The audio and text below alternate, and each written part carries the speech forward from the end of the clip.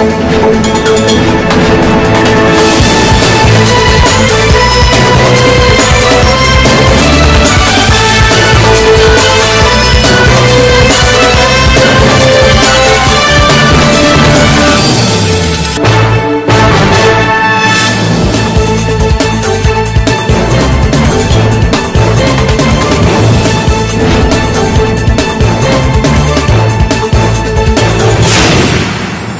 आपने press conference रखी है।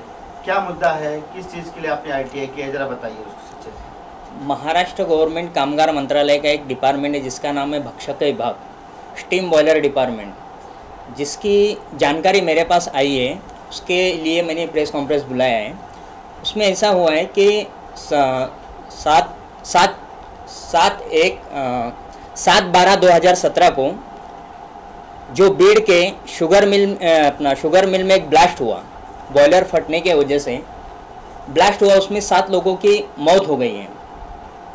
तो महाराष्ट्र में ऐसे कितने बॉयलर हैं, कितनी कंपनियाँ हैं, कितने पावर प्लांट हैं, इसकी जानकारी हमने ये की थी। तो सबसे ज़्यादा power plant cement plant rice mill ये नागपुर में ज़्यादा है, ये जो विदर्भ के अंदर आता है। तो हमने वहाँ से एक जानकारी निकाली है कि वहाँ के डायरेक्टर हैं। धवल स्टीम बॉयलर डिपार्टमेंट के जॉइंट डायरेक्टर हैं धवल प्रकाश अंतापुरकर अभी जो महाराष्ट्र के प्रभारी संचालक हैं। हमने उनका स्पेशल विज़िट और विज़िट की डिटेल्स 2015, 2016, 2017 तक की मांगी है। जिसके हमने उनकी स्पेशल विज़िट मांगी जो छुट्टी के दिन भी होती है और डे की वर्किंग डे की एक विज़िट मांगी है जिसमें हमको कुछ हिजिट पे थोड़ा सा एक डाउट है कि ये हिजिट हुई या नहीं हुई। इसीलिए हमने उसकी डिटेल में आपके सामने रख रहा हूँ।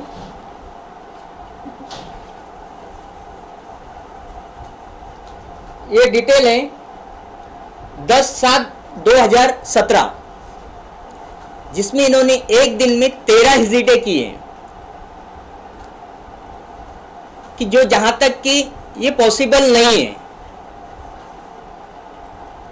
तो इसके बारे में हमको थोड़ा सा डाउट है। उसके बाद इन्होंने चार चार तारीख को सेम वही है। अठारह तारीख को इन्होंने सेम वैसे विज़िट किए। एक एक दिन में इनके दस, ग्यारह, बारह, तेरह ऐसे विजिटें हैं कि जो जहाँ तक कि पॉसिबल नहीं हो सकती। हैं क्योंकि एक ऑफिसर ये जॉइंट डायरेक्टर है और महाराष्ट्र के प्रभारी संचालक, प्रभारी डायरेक्टर भी हैं।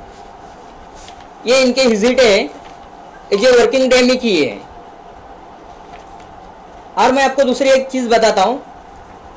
इन्होंने स्पेशल विज़िट की है, जो उन्होंने बताया है कि इसका नियम है सोलह त्रेचालीस। ये सोलह त्रेचालीस इनका कहना है कि ये जब लगता है कि एक छुट्टी के दिन और एक तो सूरज डूबने के पहले मतलब सूरज डूबा, डूब गया तो उसके बाद इनका नियम चालू होता है। तो इसको गवर्नमेंट के कुछ फ़ीस पे करना पड़ती है। जहाँ तक कि मुझे इतनी जानकारी नहीं है फ़ीस कितना होती है उनकी। लेकिन इनका दूसरा एक पॉइंट है। ये देखो, इन्होंने 16 सात 2017 में 16 सात 2017 को स्पेशल विज़िट किए। दो विज़िट किए, जिसके अंदर, एक के अंदर 16 सात 2017 में लिखा है ईद मिलाद, और दूसरे इसमें लिखा है रविवार। तो ये कितनी सच है और कितनी झूठ है? ये अपने को इसमें पता चल रहा है।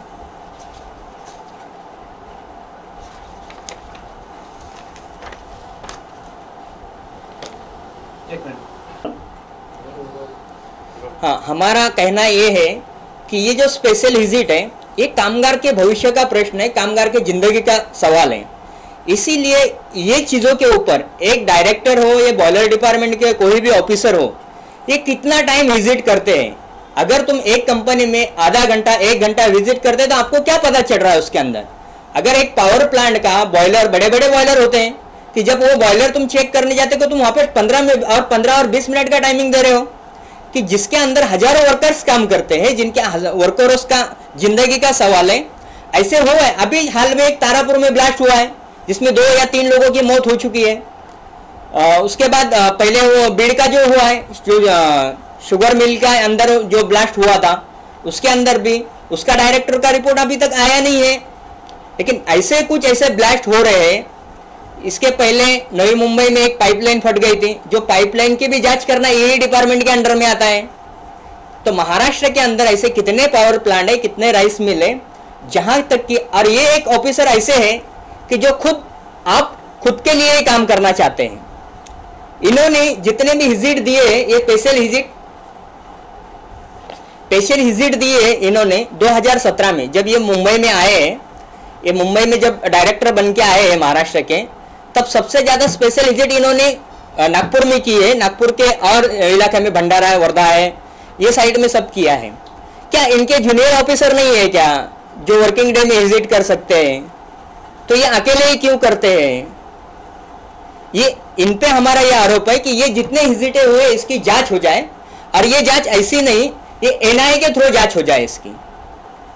सरकार ने इसका स्पष्टीकरण देना चाहिए क्योंकि ये पब्लिक का भविष्य का प्रश्न है। अगर सरकार इस पे कार्रवाई नहीं करेगी तो हम हाई कोर्ट में जाने वाले हैं एक जनहित याचिका डालने वाले हैं। इस पे जल्द से जल्द ये हो जाए। इस संबंध में आपने आरटीआई वगैरह किया सरकार को भी पत्र लिखा कुछ जवाब मिला आपको? सरकार की तरफ़ से ऐसा कोई जवाब आया नहीं है आज तक। हमने सरकार को सोलह सोलह सोलह सात सोलह बारह दो हज़ार सत्रह को मुख्यमंत्री और राज्य के मुख्य सचिव को हमने इस बारे में पत्र दिया था।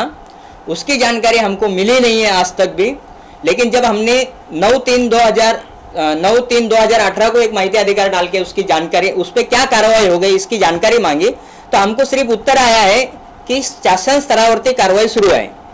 ये उत्तर से हम समाधानी नहीं है, हमने अपील में भी गए हैं। अपील के क्या उत्तर आएँगे, वो अभी आने के बाद हम हम आपको बुलाएँगे और बताएँगे।